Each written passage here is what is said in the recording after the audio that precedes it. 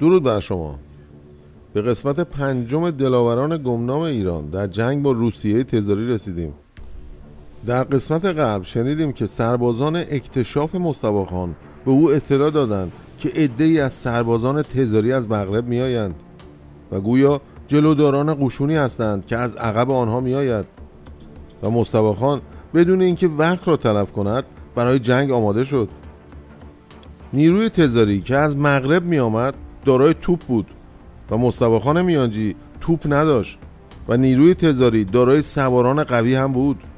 مصطفی فقط به اندازه‌ای که سربازان اکتشاف گزارش دادند از وضع نیروی تزاری اطلاع داشت و سربازان اکتشاف هنوز قسمت اصلی نیروی تزاری را ندیده بودند. مصطفی میانجی بدون اینکه از چند و چون نیروی تزاری مستظر باشد حدس می‌زد که آن روز یا روز بعد بین او و نیرویی که از مغرب میآید جنگ در می‌گیرد و آرایش راهپیمایی را تغییر داد و آن را مبدل به آرایش جنگی کرد. یعنی قشون خود را منقسم به یک قلب و دو جناح نمود و جناح چپ قشون او متکی به رودخانه شد. مصطفی دقت کرد که رودخانه را در دسترس و هم تحت نظر داشته باشد تا اینکه از حیث آب دچار مزیقه نشود. و دیگر اینکه قشون تزاری از رودخانه برای اینکه در عقب وی نیرو به ساحل بیاورند استفاده ننماید. مصطفی خان برخلاف افسران ارتش های اروپایی در مدرسه نظامی تحصیل نکرده بود و تاکتیک های جنگ سرداران معروف گذشته را در آن مدارس به او تعلیم نداده بودند. اما لحاظ جنگی هوش فطری داشت و حدس می‌زد ممکن است که ارتش تزاری با اینکه در شمال رودخانه است از راه آبی استفاده کند و قسمتی از قشون خود را از رود بگذراند و در عقب وی به ساحل بیاورد تا اینکه بتواند او را محاصره کند. در شمال جبهه مصطفی یعنی در شمال جناح راست او یک دشت مسطح وجود داشت و مصطفی میانجی سواران خود را در جناح راست قرار داد تا اینکه از زمین مساعد استفاده کند و به جبهه تزاری حمله نماید. اما با اینکه فرمانده سپاه ایران در آن روز خود را برای جنگ آماده کرد تا غروب آفتاب قسمت اصلی سپاه تزاری نمایان نشد. قبل از اینکه آفتاب غروب کند مصطفی خان صفوف جنگ را برهم زد و گفت اردوگاه به وجود بیاورند. چون اگر سربازان در صفوف جنگی باقی میماندند در موقع شب نمی توانستند استراحت نمایند و صبح با خستگی بایستی شروع به جنگ کنند. علاوه بر سربازان اسبها هم احتیاج به استراحت داشتند و گرچه سواران مصطفی آن روز در جناه راست نجنگیده بودند و اسبها ندویدند. اما خسته شدند زیرا سواران تا غروب آفتاب بر پشت اسبها بودند و پایان علیق نخوردند. اسب جانوری است که باید زیاد علیق بخورد و اگر آن را زین کنند و به پشتش سوار شوند و در یک نقطه توقف نمایند خسته می شود صبح روز بعد بعد از اینکه آفتاب طلوع کرد مصطفی خان صفوف جنگ را آراست و مثل روز گذشته سواران خود را در جناه راست قرار داد. سپاه تزاری به وسیله جلوداران خود از استقرار سپاه مصطفی خان در آن منطقه مطلع گردید و حتی اطلاع حاصل کرد که مصطفی خان سواران خود را در جناه راست جبههش قرار داده است. روز بعد هم که مصطفی خان صفوف خود را آراست فرمانده سپاه دانست سواران مصطفی میانجی در جناه راست او هستند و به همین جهت توپخانه سپاه تزاری در جناه چپ آن سپاه قرار گرفت تا اینکه مقابل سواران مصطفی باشد. مصطفی انتظار داشت که سپاه تزاری به او حمله کند. اما فرمانده آن سپاه کنار رودخانه کر مستقر شد و جناه راست خود را کنار رودخانه قرار داد. در سپاه تزاری سواران در قسمت ذخیره قرار گرفتند و مصطفی ساعتی صبر کرد تا اینکه سپاه تزاری حمله کند. ولی آن سپاه حمله نکرد و لذا مصطفی خان فرمان حمله را صادر نمود.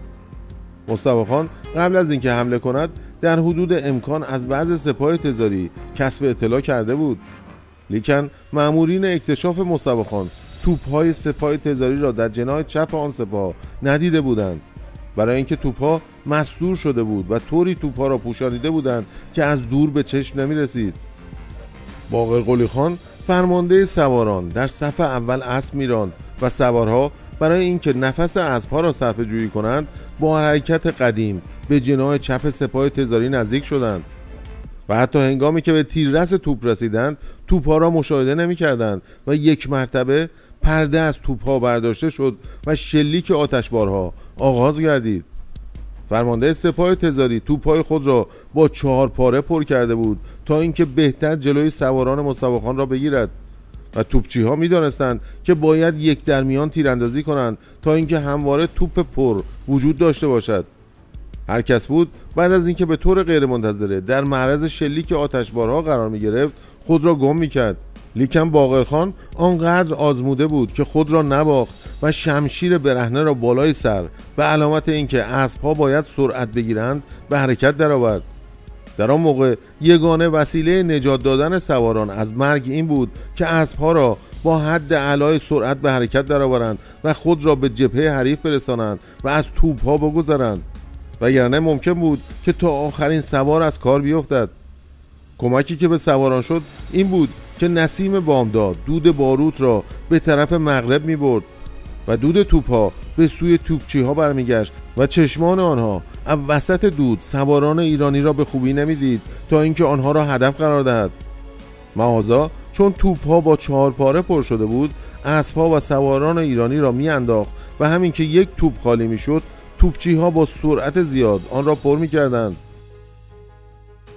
سوارانی که در معرض شلیک چهارپاره توپها قرار می گرفتند سه چاره داشتند.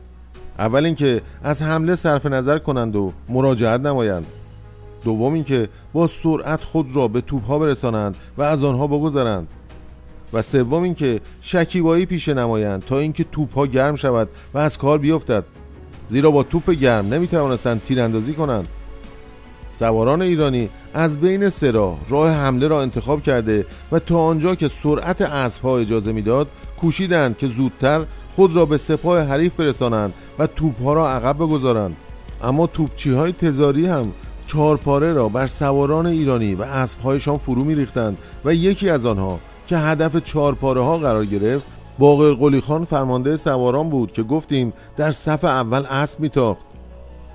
و چند چهارپاره به صورت و گردن و شکم آن مرد اصابت کرد و او سوزش ناشی از تصادم چهارپاره های گرم را با صورت و گردن و شکم خود احساس نمود ولی همچنان به سوی جناه چپ سپاه تزاری اسب میراند و سوارانی که در صف اول بودند نفهمیدند که وی به سختی مجروح شده.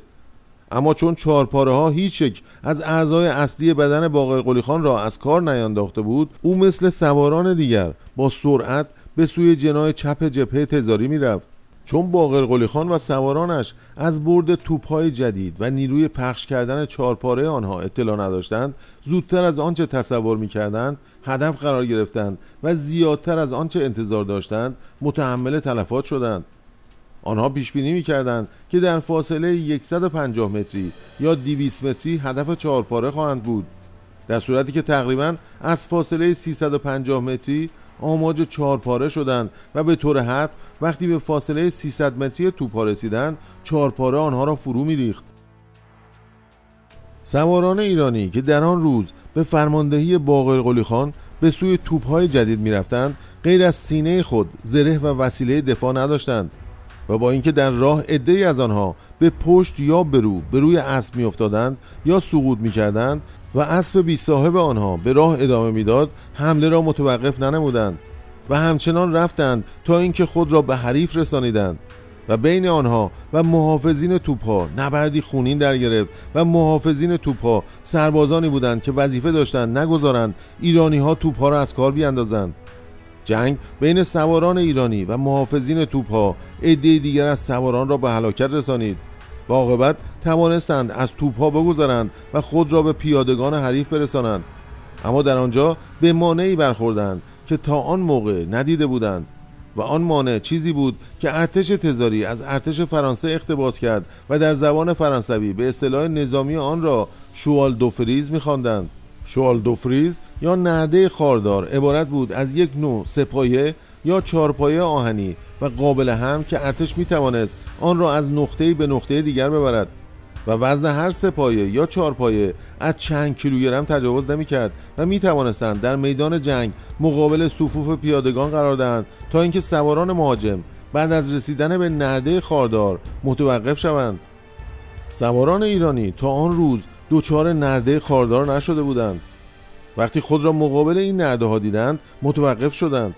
چهار پاره توپهای جدید که چون باران بر سواران باقر قلی خان میبارید نتوانست که سواران ایرانی را متوقف کند. اما یک نرده فلزی خاردار آنها را متوقف کرد در صورتی که بیش از یک متر ارتفاع نداشت.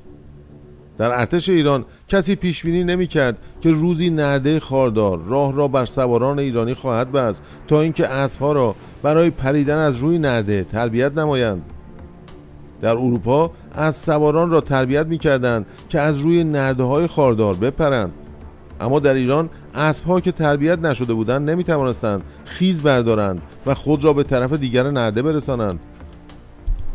باقر قلی خان فرمانده سواران به طوری که گفتیم مجروح شده بود.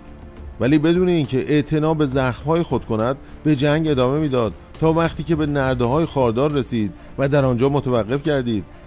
اسبها نمی توانستند از نرده های خاردار عبور کنند و سواران هم نمی توانستند پیاده شوند تا اینکه نرده های خاردار را از راه اسبها بردارند.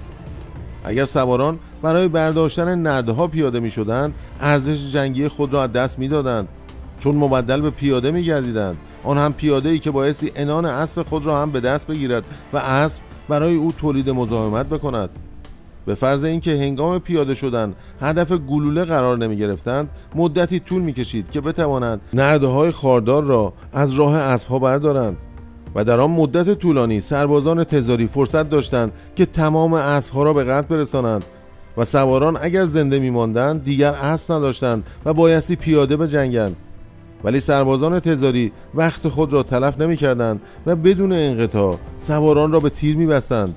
اگر آنها دارای تفنگ های تپر بودند حتی یکی از سواران باقر خان زنده نمی ماند.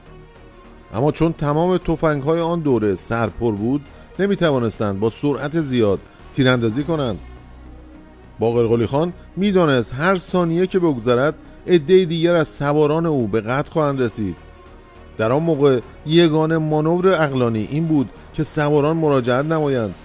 زیرا نمی توانستند نرده های خاردار را که به هم بسته شده بود بردارند. از طرف باقر قلی خان فرمان مراجعت صادر شد و سربازانی که آن فرمان را دریافت کردند برگشتند و عده دیگر از سواران بدون اینکه فرمان را دریافت کنند مراجعت نمودند چون مشاهده کردند که هم قطارانشان برمیگردند. در موقع مراجعت هم گلوله تفنگ ها و چهارپاره چند توپ که می توانست شلیک کند سواران را بدرقه کرد و عده دیگر از آنها را به زمین انداخت.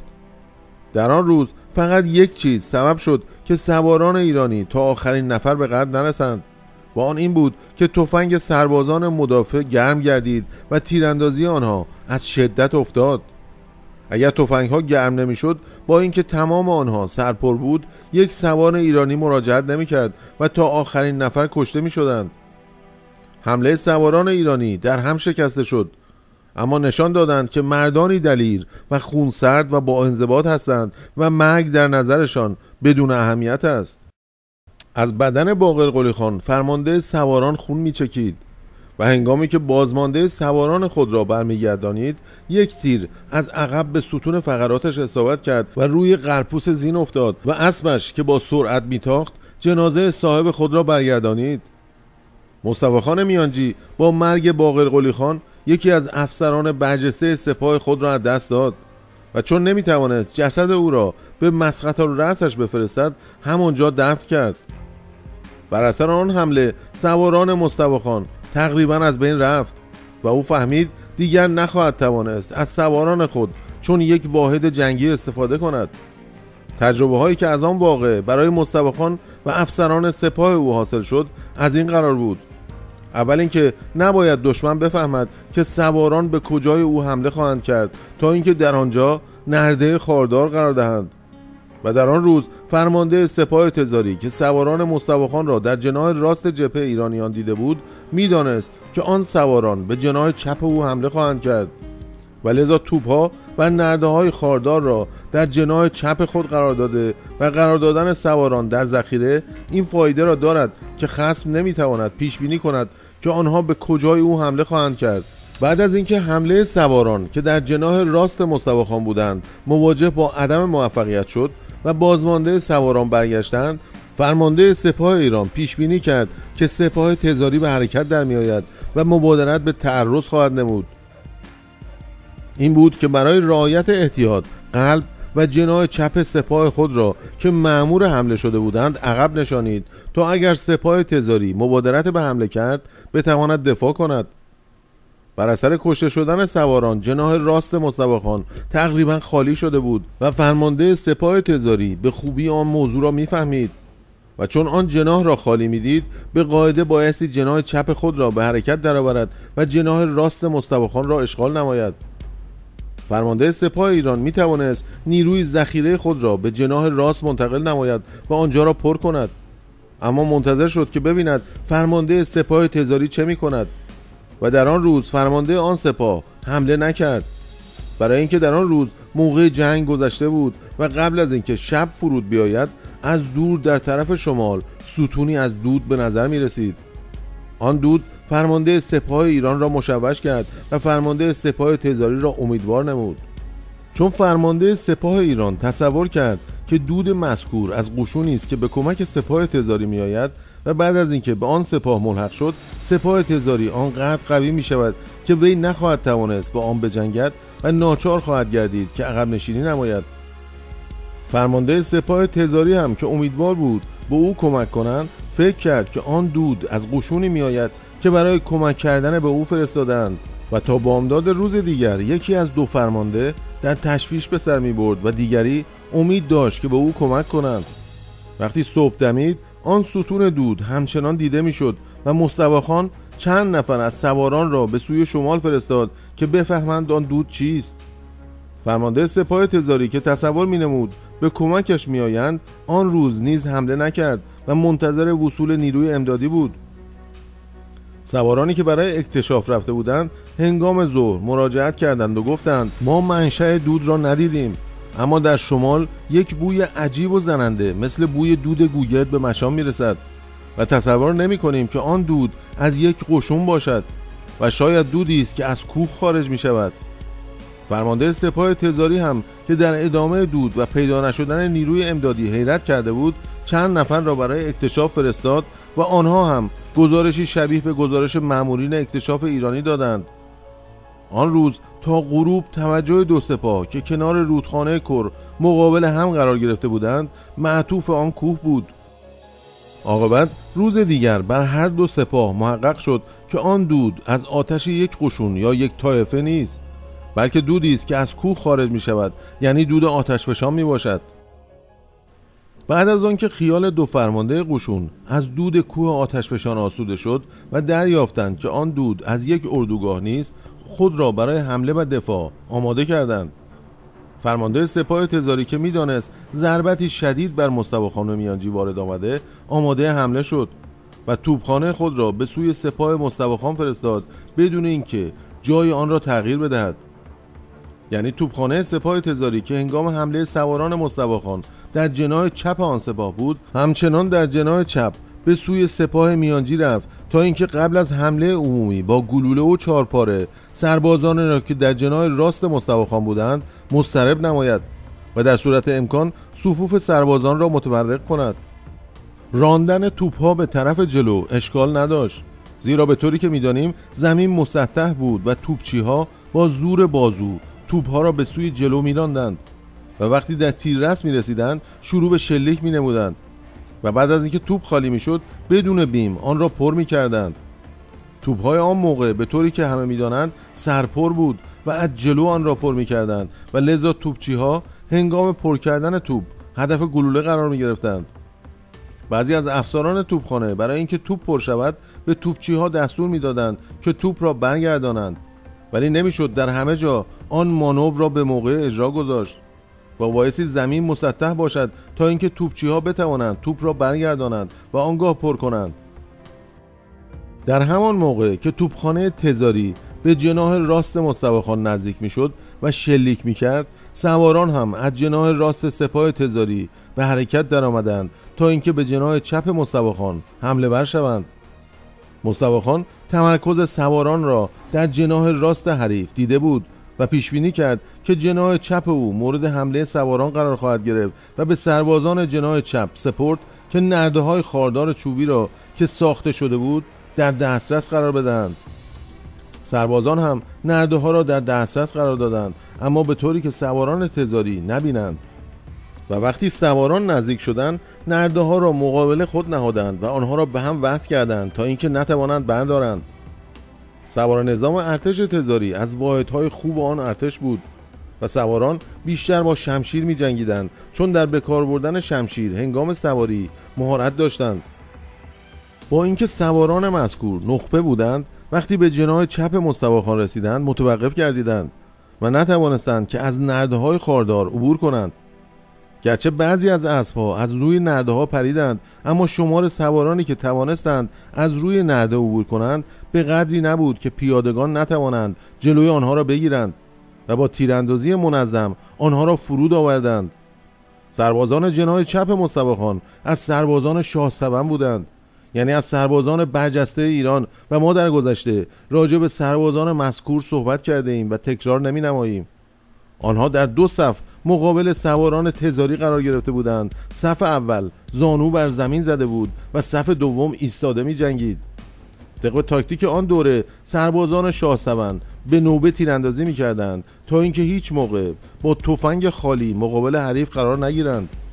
ولی آنقدر که نرده های خاردار جلوی سواران تزاری را گرفت گلوله های سربازان شاه از آنها ممانعت نکرد. بعضی از سواران از طرف راست یا طرف چپ خم می شدند تا اینکه موانع را از زمین بردارند و به یک طرف بیاندازند. اما چون نرده ها به هم پیوسته شده بود نمی توانستند که آنها را از هم جدا کنند و تیراندازی منظم سربازان شاه ادامه داشت و سواران که دیده بودند نمی توانند از نرده ها بگذرند عقب نشینی کردند. و مصطفی با همان وسیله که سوارانش شکست خورده بودند سواران تزاری را مجبور به عقب نشینی کرد. اما در جناه راست وضع مصطفی خان میانجی آنطور رضایت بخش نشد. چون توپ ها تا آخرین لحظه قبل از حمله پیادگان تزاری تیراندازی می‌کردند و چهار پاره های آنها سربازان مصطفی خان را اذیت مینمود. بعد از اینکه توپ ها خاموش شد سربازان تزاری با سرنیزه به جناه راست مصطفی خان حمله برگردیدند و سربازان ایرانی هم با سرنیزه و پیشتاب آنها را از خود میراندند. پیشتاب تپانچه یک لوله بود که مثل تفنگ در خود ایران می ساختند و در اصفهان و کرند واقع در کرمانشاهان و یزد ساخته می شد و اسم پیشتاب از کلمه پیستوله گرفته شده بود. اما تمام سربازان پیشتاب نداشتند و سلاح مذکور یک سلاح خصوصی به شمار می آمد و سرباز بایستی پیشتاب را خود خریداری کند. در همین گیرودار باد سریعی وزیدن گرفت و خاک دشت را بلند کرد. و به یک باره مبدل به طوفان شد و طوری خاک در فضا پخش کردید که جنگ خاتمه یافت و سربازان تزاری که رو به باد بودند و خاک وارد چشمهایشان می‌شد نمی توانستند چیزی را ببینند یا اینکه بتوانند بجنگند. ایرانیان هم با اینکه پشت به باد بودند از طوفان ناراحت شدند و طوفان مزبور برای مصطفی میانجی و هم فرمانده سپاه تزاری غیر منتظره بود. اما برای سکنه محلی یک طوفان غیر منتظره به شمار نمی آمد زیرا طوفان شمخور سابقه داشت و طوفان‌های محلی و دارای سابقه مدتی معین دارد و سکنه محل می دانند که طوفان چند ساعت طول می کشد به طور کلی اگر طوفان محلی در روز آغاز شود تا شب طول می کشد و بعد از اینکه قافتاب غروب کرد آرام می گیرد و هرگاه در شب شروع شود تا بامداد ادامه خواهد یافت و همین که اولین طلوع فجر دمید تخفیف پیدا می کند و سپس از بین می رود